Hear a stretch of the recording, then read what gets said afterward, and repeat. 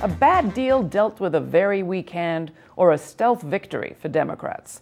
The verdicts are just coming in on the president's tax deal with Republicans, and even at The Nation magazine, they're all over the map.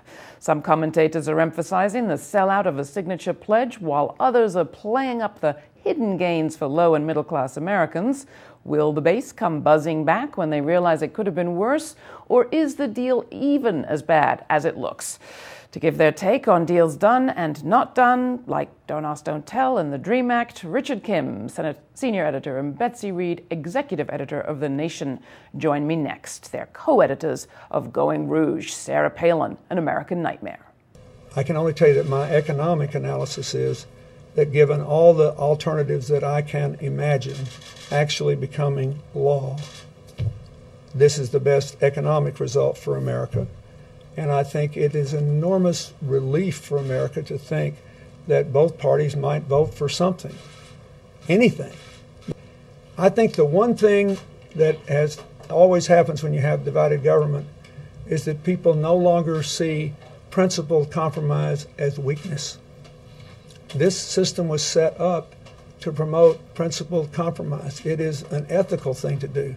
It, in, a, in a democracy where no one is a dictator, we would all be at each other's throats all the time, and we would be in a state of constant paralysis if once power is divided, there is no compromise. Was the scene on Friday, Betsy. I mean, a lot of people were talking about the 1994 triangulation moment of Bill Clinton, but they didn't have to just remember him. They could actually see him right there with the president at the press conference. The president left early. He left himself. He stayed there right at the podium talking about compromise. This was the question of the week. What do you make of the theatrics first? Well, I mean, I think in, on one level, it obviously made sense to bring in Bill Clinton at this moment because he, I mean, he was a master of triangulation, but he also presided over a prosperous economy. And I think Americans remember that. that and that's one thing that they do associate with Democrats. And I think there is a way in which they remember that the, this recession was a result of the disastrous economy of the Bush years. Um, but you know, I also think that it's a shame that the, in this moment um, and and under the Obama administration, people may have sort of lost sight of the fact that there is a real difference, supposedly on on economic issues between Democrats and Republicans, and that's why I think it is important that Democrats are putting up somewhat of a fight. They're not happy with this deal because they because one of the, the main arguments they can make as a party is that they are against tax cuts for the rich. They are against policies that systematically favor the rich. And wasn't it true that so many of the concessions of the Clinton era really created a sham of a great economy that wasn't great for everyone and brought us right here? I mean, there was undoubtedly a, a huge debt driven bubble in the Clinton economy, and, and that is what, what brought us here. Look, on the tax deal, I think it's totally rotten. I think it's the best rotten deal that Democrats could have gotten. 13 uh, month extension of unemployment insurance. You don't have to go fight that um, every three months like we've been doing. Uh, the payroll tax uh, holiday is, is some amount of stimulus.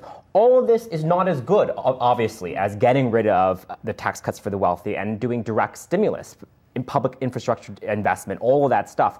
The votes aren't there for that. And I do think we have an incredibly conservative Congress. Not the one coming into power in January, but the one we have right now is an incredibly conservative Congress. And progressives really need to bear that in mind when they start whining about a better deal they could have gotten. Well, but in the Nation pages this week, you've got Chris Hayes saying this has devastating political impact, meaning party impact on the base, selling out a signature pledge of the campaign uh, on the Obama side. You've also on the economic pages got Bill Greider saying, well, and the tax, the payroll cut of Social Security taxes could actually threaten Social Security, a critical Democratic program. Richard. Look, I think also letting all the Bush tax cuts expire, um, having middle and working class people's taxes go up, and then producing a double dip recession is the worst disaster for the Democratic Party. So we're all in triage mode here. You know, these are all bad options, but I do think that keeping the tax cuts for the middle class and conceding uh, with the Republicans that you had to also do that for the rich, nobody likes that, um, was the best rotten deal we're going to get. All right, what do you think, Betsy? You agree? Well, I wasn't in the room. I can't say exactly, you know, whether we could have, uh, the Democrats could have gotten a better deal. I think it had this this ta- a more progressive tax system been a fundamental goal of the Obama administration from a year ago, I think we could have gotten a better deal. I think they could have made different procedural decisions so that they could use that they could have used the reconciliation process to get this budget through, so they wouldn't need to rely on on you know so many Republican votes and, and centrist Democrats. I mean, I think there are, are all sorts of ways that Obama and the Democrats could have made this a priority a long time ago. I, th- I think you're right there. You know, and, and um, it, it is during the campaign. It was his signature class campaign promise. You know, we're going to get rid of these tax cuts for the wealthy. And, you know, I was there in Denver where the entire stadium sort of lit up because of that. And I do think that was a rallying cry, particularly for the, for the working class. Um, they abandoned that pretty, pretty early. Um, and so, given the sort of politics that we entered in after the midterms, you know, this, this is the deal I think that they were capable of getting. I also worry that by saying we didn't have the vote, so we had to roll over basically on this issue. I mean, now we're looking at an even worse scenario. So when we don't have the votes next time around, what does that mean? What kind of compromise is that going to entail? Where where are we going to draw the line ultimately? I mean, that's what Paul Krugman was writing about on Friday. It's like, what is going to be different a year from now or two years from now when you see a lot of the good stuff in this package expire, but right. the possibility very strongly that the tax cuts for the super rich, and we mean super, super rich when right. we're talking about the estate tax, um, become permanent. What's going to change, particularly if the Democrats aren't doing the job and the leading Democrat with the biggest bully pulpit is not doing the job of education that Betsy's talking about? You know, in, in, a lot of ways, I, I think progressives are uh, mistaken to ever assume that Obama is going to be the center of resistance against the right.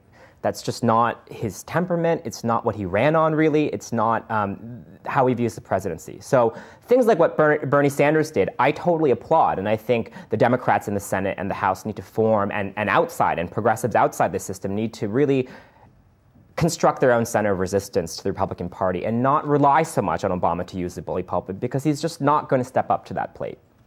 Let's hear some of the discussion over this Sunday. Um, here's Harold Ford to begin, representing Democrats. Take a look.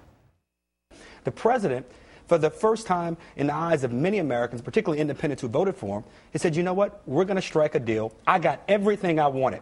I don't know of anything in this tax deal that we didn't get as Democrats that we wanted. And what did he do? He extended the cuts for the top earners. Now, remember, we lost an election. If we had gained 60 seats, then what you're saying, you wouldn't have to be here. Now, I'm playing Harold Ford because they didn't play Bernie Sanders. I mean, interestingly, Bernie Sanders' eight and a half hour speech didn't really make it into the Sunday shows. A lot of people are questioning what was the import of what he said, meaning what's the effect, um, particularly when Hal Ford is increasingly seen on those Sunday programs as kind of the reasonable, grown up Democratic voice. Betsy. Well, I mean, Did I Sanders think that's not, anything? that's not I, well, I mean, I think he did. I mean, first of all, we have a somewhat more democratic media system now, so that you can go and see. A lot of people have watched Sanders online. He's been an inspiration, and he's at, he actually made the case um, from a progressive standpoint against these these cut these tax cuts. Which I mean, I just think that whatever you know, it, it, it turns out in terms of what what what could have been possible versus what we got. I think actually having this argument is really important. And for Democrats, and I mean, Bernie Sanders is actually an independent, he's a socialist. To you know, be part of this conversation is a really good thing. How do progressive or liberal initiatives or any of the other presidential pledges actually get implemented at this point? I mean, we're looking at the DREAM Act, Don't Ask, Don't Tell.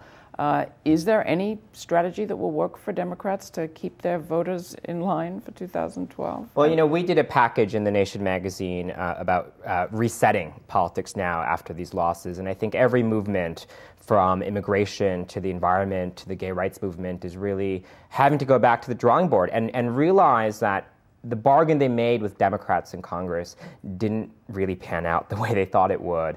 Um, and you know, I don't know this. I don't think there's a sort of you know one answer for all progressives. I think every movement is sort of recalibrating now. But uh, across the board, I think there is there is some sense that you have to go to the outside, and, and that whatever is going to happen in Washington is is pretty much going to be locked down for the next two years. Here's Barack Obama talking about health care reform. Or drawing that parallel, we just heard that the Virginia court has indeed declared the mandates for coverage unconstitutional. So this could be going to the Supreme Court. Take a look so this notion that somehow um, you know, we are willing to compromise too much. Uh, reminds me of the debate that we had during health care. Th- th- this is the public option debate all over again. And we will be able to feel good about ourselves and sanctimonious about how pure our intentions are and how tough we are.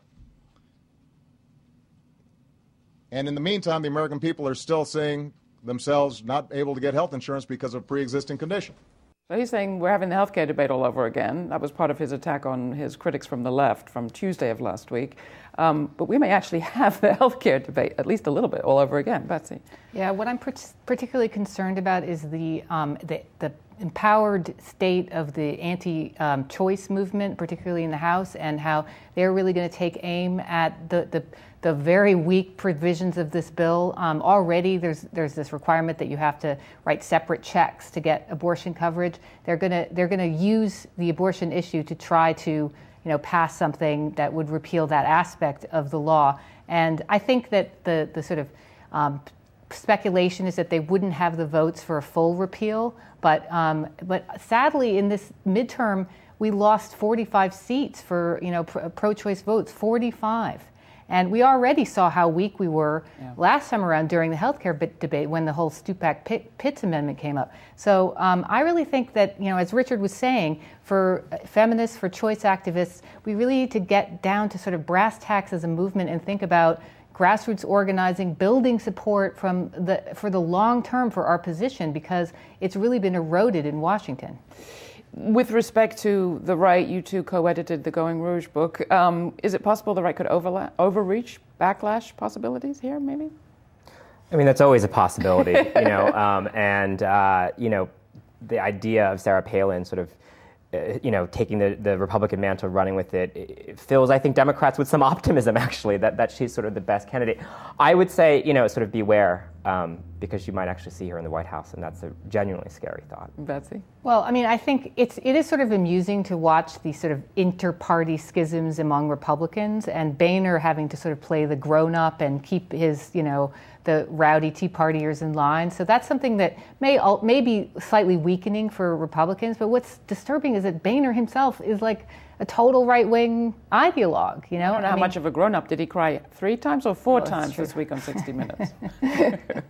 but you know, I mean, I, I I think it's it's possible that they could embarrass themselves with a, with a lot of frivolous investigations that clearly don't go anywhere. Um, but I mean, if that's our best hope, I don't know. Doesn't Betsy Reed and Richard Kim, you can find their work at The Nation. We'll put a link, thenation.com, at our site. Thank you both.